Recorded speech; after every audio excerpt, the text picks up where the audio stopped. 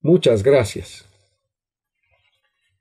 Persiste la volatilidad causada en los mercados mundiales por los resultados del referendo de la semana pasada en el Reino Unido.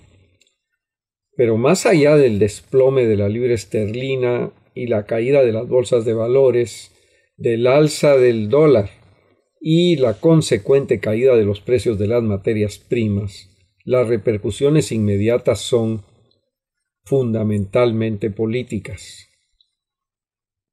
Puede esperarse un periodo de incertidumbre en Europa de por lo menos dos años mientras se alcanzan los términos del acuerdo de separación, lo cual puede desembocar en un acuerdo similar a aquellos que existen y están vigentes entre la Unión Europea con Noruega y con Suiza.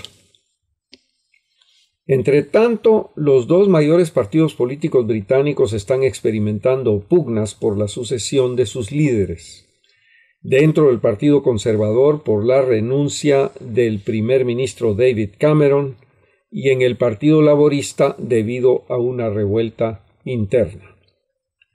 La otra consecuencia política mayor tiene que ver con la potencial desintegración del propio Reino Unido. Tanto Escocia como Irlanda del Norte votaron en favor de quedarse. Escocia por 2 a 1, e Irlanda del Norte por 56 a 44%.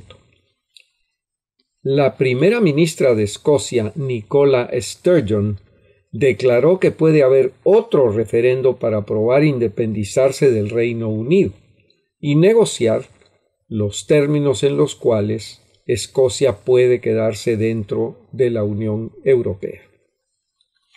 En Irlanda del Norte puede haber una votación para unirse a la República de Irlanda, la cual es miembro de la Unión Europea.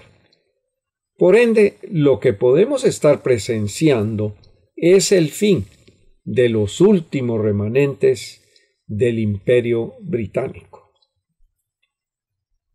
Desde Washington les habló Isaac Cohen. Muchas gracias.